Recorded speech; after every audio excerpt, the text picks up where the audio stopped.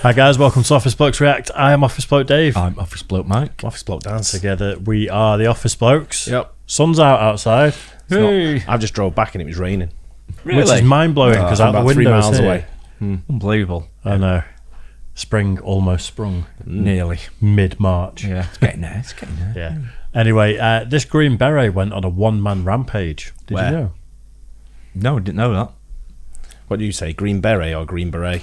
I mean, it's Green Beret, isn't it? But I, I just said Green I just said beret like a little French. I say hat. beret because that's how we pronounce it. I say beret. Do you? Yeah. There used to be a pub next to us and it was called the Red Beret. Right. And okay. I've always called beret. I've always called it beret. I think in terms of military, it'd be Green Beret, mm. wouldn't it? But if a, a Frenchman was wearing the little hat, I'd say it was a beret.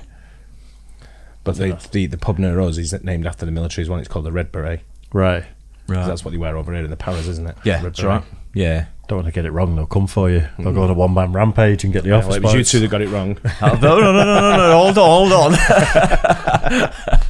Uh, yeah, I think it's Popo Medic. This. Yeah. We've not done Popo Medic for a little bit, No, so I like 'em. let's get into it. This green beret. What is it? green beret. Yeah, there you go. Uh, went on a one man rampage. Let's do it. Thursday, May 2nd, 1968.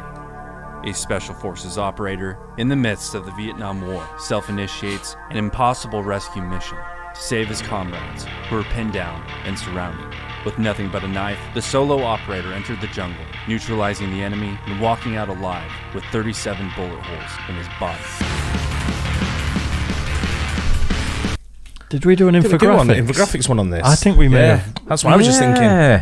Yeah. I mean, did. there's going to be lots of nutcases like this Yeah. out there. But I think it's the same one that we did. Like, Yeah, it was- we'll- either we'll infographics find out. or something like that. Yeah. one of the cartoon sort of like uh, Yeah. That's right. We'll- Yeah. We'll, find out.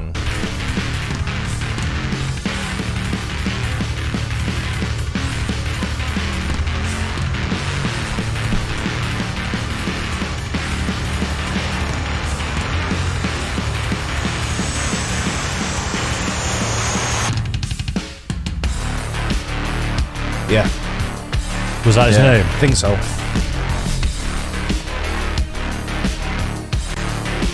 In 1952, 19 year old Roy Benavidez enlists How is he 19?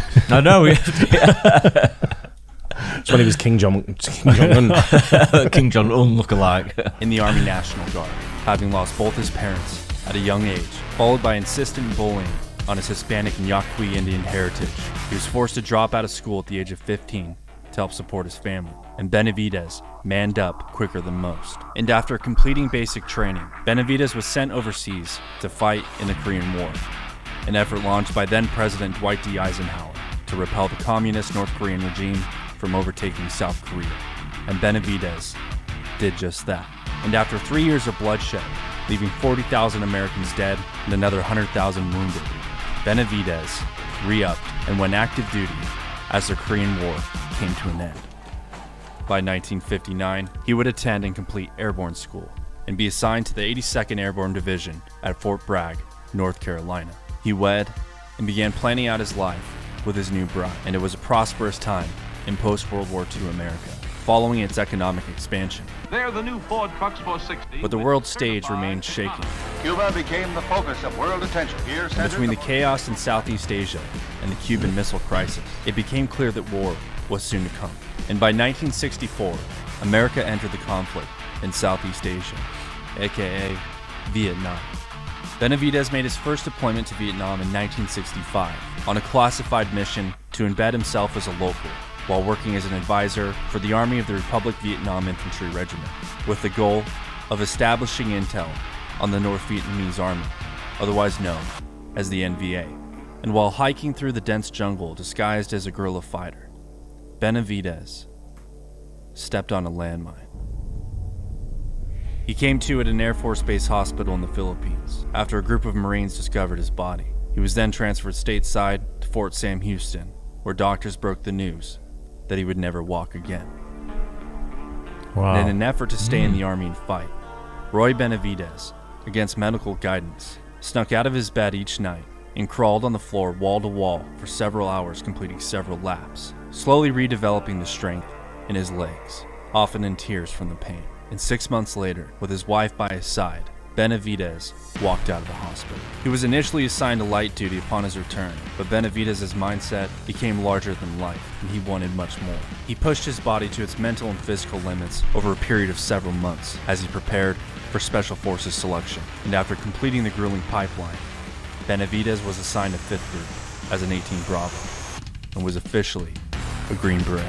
He requested assignment to Detachment Bravo 56 under the control of the Military Assistance Command Vietnam Studies and Observation Group, returning to Vietnam in April of 1968. And upon arrival, only three years after his landmine incident, the North Vietnam Army took the fight directly to the Special Forces teams. And with violence at its peak, Benavidez narrowly escaped death after his close friend from selection, Sergeant First Class Leroy Wright, intervened, saving Benavidez' life. And by the following month, on May 2nd of 1968, Benavidez was attending church at the base when he overheard radio transmissions from Wright, who was out on a recon mission with a 12-man Special Forces team. The men were pinned down by more than a thousand NVA soldiers in fighting for their lives.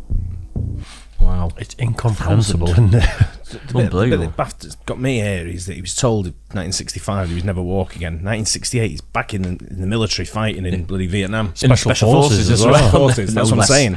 Yeah. That's what he calls determination, isn't it? Man, Hey, mental. gee. I wonder how many people get given that diagnosis and accept it mm. that could have potentially pushed through and really, like, really Oh, pushed maybe. for a few years and mm. got back to some form of fitness. Guy's made of sterner stuff, isn't he? You know, he's got to have a completely different mentality, I suppose, Yeah. haven't you? I guess Yeah. to a lot of people. Even just to be in the army anyway, being special forces, Yeah. you got to be a special elite. type person. It is, This yeah. guy's the elite of the elite of the mm. elite.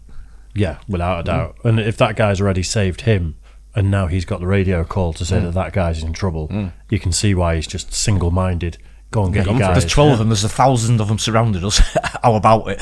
Right, I'm going. I mean, who'd say yes? Hold me to beer. that? I know. Just got to go sort some stuff out down the road. I'll be a thousand of them. Won't be long. Doesn't change the odds much, does it? Uh, wow. Three helicopters returned from the extraction zone, riddled with bullets, unable to safely land and rescue the injured. One Huey crew member, 19 year old door gunner Michael Craig from Los Angeles, was shot multiple times during the rescue operation and succumbed to his wounds in the arms of Benavidez. Furious, with no time to properly load out, Benavidez jumped on the last helicopter heading back to the extraction zone, armed with nothing but a knife and an IFAK. Pilot Larry McKibben bobbed and weaved his way through the extraction zone to evade enemy gunfire, but came to a conclusion that it'd be impossible to land. Benavidez convinced McKibben to get him just above the tree line, at which point Benavidez jumped out of the chopper, breaking his fall through the trees before colliding with the jungle floor. And as he made his way towards his fallen comrades, he was shot in the leg and realized in that moment he was completely surrounded.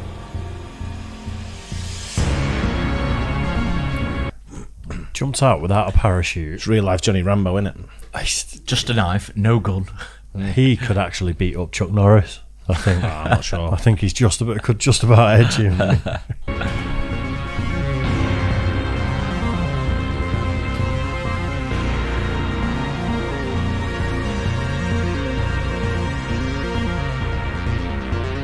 During the chaos, he located Sergeant First Class Lloyd Mousseau, taking cover behind a tree, with obvious deformities and lacerations to and on his face. Benavidez provided morphine and dragged Mousseau into a better defensive position, pointing Mousseau's rifle in the direction of the enemy and ordering Musso to fire. Next, he located Specialist Brian O'Connor and made a run for him, taking another shot to the leg in the process, which only pissed him off, of which he described as going into autopilot. AKA human instinct, carefully curated into our DNA by centuries of death and violence. And not every man's blood shares the same story in the barbaric chain of human evolution. Benavidez carried the blood of the Yaqui, and with a knife in hand, he cut down his enemy.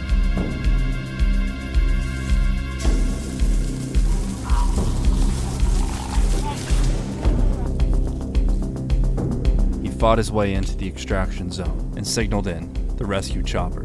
Walking wounded made it on board as Benavidez laid cover fire with a picked up AK 47. He then located his close friend Sergeant First Class Leroy Wright, who laid unresponsive beneath the tree line. Benavidez rushed right to the chopper, but in doing so, Benavidez was shot in the stomach and struck by shrapnel from a nearby grenade. When he came to, Benavidez realized Wright was killed by the blast of the grenade. The chopper extracting the wounded had crashed, and pilot McKibben was killed on impact. But the five other men on board survived. Benavidez quickly extracted the men from the helicopter, administered another round of morphine, and in a last ditch effort, called in a danger close airstrike as F 100s thundered the floor with napalm.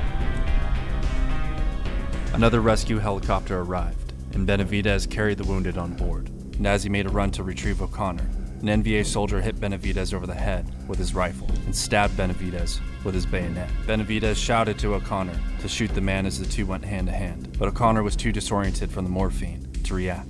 Benavidez removed his knife and stabbed the soldier, killing him. He then picked up O'Connor and ran to the chopper, while killing three more NVA soldiers with another picked up AK. Once everyone was on board, Benavidez was the last to join. And to everyone's surprise, Benavidez also piled in three dead NVA soldiers, just in case they were carrying any useful information. As for Benavidez himself, blood in his eyes dried his eyes shut. He couldn't speak due to a broken jaw, and his body was in hypovolemic shock. And by the time they returned to base, Benavidez was placed in a body bag. A friend and teammate approached and ID'd Benavidez as his close friend, Tango Mike Mike, begging doctors to save him. But the doctors conferred and suggested there was nothing that could be done. Until Roy Benavidez Seems like he would have got up and done the surgery himself. Seems that's the only thing he's missing so far, isn't it? it's all right. If you're not going to do it, Yeah, I'll do it. it myself. Want a job doing? Yeah, Absolute, like it's it's Machine. crazy. It's crazy that these people exist, I know. isn't it? Mm. Yeah, like I said, the mentality is completely different, isn't it? It's just on a different level, Yeah. completely. They really are. Just pure warrior and Yeah. like selfless. And the fact that he's how many times was he shot and then he was Oh, stabbed lost and his count, mate. jaws Shot broken. Both legs stabbed and shot in the stomach. I mean, just uh, you know, the bravery of these guys is Hit over the head. off the scale. I love how it said uh, he got shot in the leg again, which just pissed him off. suggested there was nothing that could be done. Until Roy Benavidez summoned the strength to spit in the doctor's face.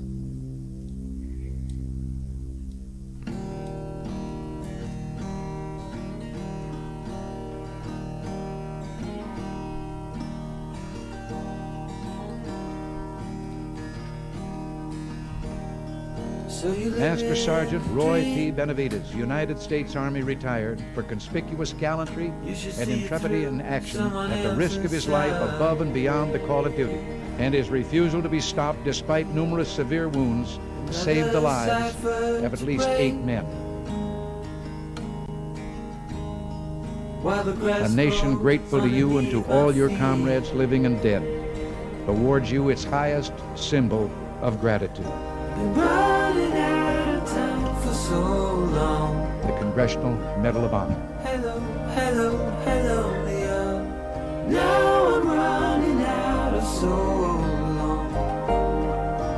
hello, hello. The Veterans Administration offers the addicted vet no rehabilitation or retraining.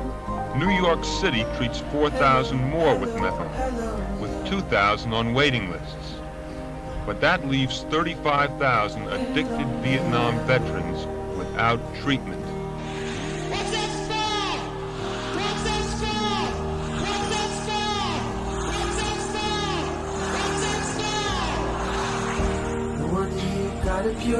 Well, come on, all of you big strong men. Uncle Sam needs your help again. I have uh, a number of friends who are not alive. Don't ever let them bring you down. I have uh, a couple of people who've never returned from Vietnam in their heads. They're crazy, they can't be around other people. You see them drop down into a crouch and fire an imaginary machine gun. The guy saves your life, and I wasn't able to save his. I feel good that I- I'm saying, kind of, a uh, final goodbye to a friend. All Americans can agree that Vietnam veterans deserve recognition and appreciation for their sacrifices, and that is why the Vietnam Veterans Memorial stands here today. They were spit upon and called uh, baby killers and just everything under the sun. They were treated very, very poorly. You know, there's a saying among us veterans that it is those that have fought for it that life has a special flavor that the protector will never know. You have never lived till your more time. And it is us veterans, especially the wounded, that pray for peace most of all, because we have to suffer the wounds of war.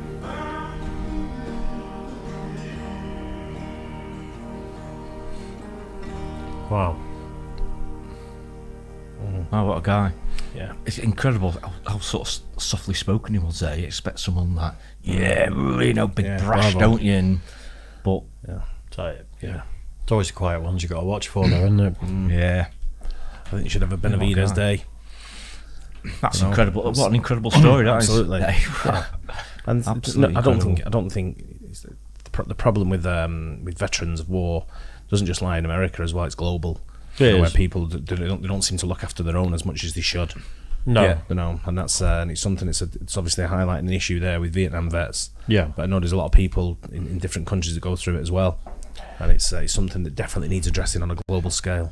I think that was an especially dark period in American history, though, Yeah. wasn't it? Oh yeah, I think one of the problems with Vietnam was it wasn't like I don't think it's like a war that was won in the end, was it? It's sort of like these sort of like, Yeah, I know it what you mean. gradually came to an end, but it wasn't Yeah. like a big victory parade and Yeah. stuff like that. And I think that's where the big problem with the veterans was it. What they they weren't treated as heroes when they first came back. I don't think were It wasn't like a real war, was it? It's, it's like Oh, a, yeah. uh, it wasn't a, like a fair war, let's say. Yeah. there's a lot, like you say, a lot of um, PTSD that's gone on since then. Yeah. and uh, I think there was a lot of drug abuse as well, though, wasn't there? That's what I'm saying. Yeah, Yeah, there's, there's just a lot, a lot of moving parts to that, and I think I don't know if the hippie movement was a response to it, or if it, the hippie movement was a response to how square everyone was in the fifties. I think fifties. it's of the time, wasn't it? It's coming off the back of World War Two, and then people were getting more hmm. money and you know just feeling a bit more Yeah. liberated. I suppose it's, and then sort of like more drugs were coming onto the scene, not just America, sort of like all around the world. I think. Yeah. recreational lot, drugs, lot, weren't they? A lot of the care that's available today wasn't available then, but it's available Yeah. today.